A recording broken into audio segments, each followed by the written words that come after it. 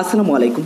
সুপ্রিয় দর্শক মালয়েশিয়া কর্মী গমনের আরও দুশো পঞ্চাশ রিক্রুটিং এজেন্সি কিন্তু দায়িত্ব পেতে যাচ্ছে। এ বিষয়ে যারা কম করছে মালয়েশিয়া যেতে অধীর আগ্রহ এবং অপেক্ষা করছে, তাদের জন্য বিশাল সুখবর।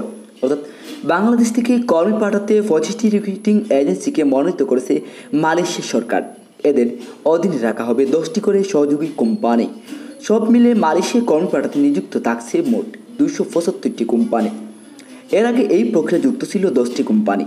আন্তর্জাতিক সংস্থার আইএলও দিক নির্দেশনা বজায় রাখা সহ বিদেশি কর্মী নিয়োগের স্বচ্ছ প্রক্রিয়া অনুসরণের স্বার্থে এ ধরনের সিদ্ধান্ত নেওয়া হয়েছে বলে জানিয়েছে মালয়েশিয়া।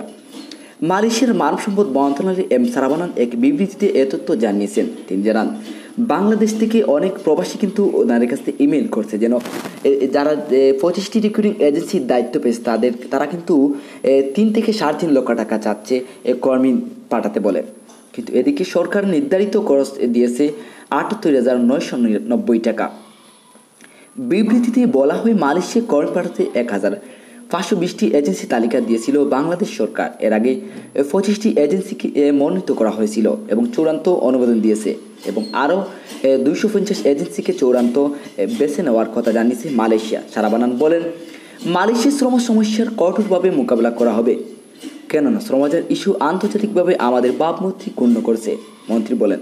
প্রথমত মালয়েশিয়ার মানব সম্পদ মন্ত্রণালয় শুধু পঁচিশটি কোম্পানির সঙ্গে লেনদেন করবে, অর্থাৎ লেনদেন করতেছে। এবং করার পরও কিন্তু আবার দুইশো পঞ্চাশ রিক্রুটিং এজেন্সি চূড়ান্তভাবে দায়িত্ব পেতে যাচ্ছে। এদের সাব এজেন্সি হিসাবে আরও পাঁচশোটি রিক্রুটিং এজেন্সি এখন আমরা দেখতে পাচ্ছি যে দায়িত্ব পাবে অর্থাৎ আশা করা যাচ্ছে যেন কম খরচে মালয়েশিয়ায় কর্মী যেতে পারবেন বলে কর্মীদের এই সুখবর আসতে পারে।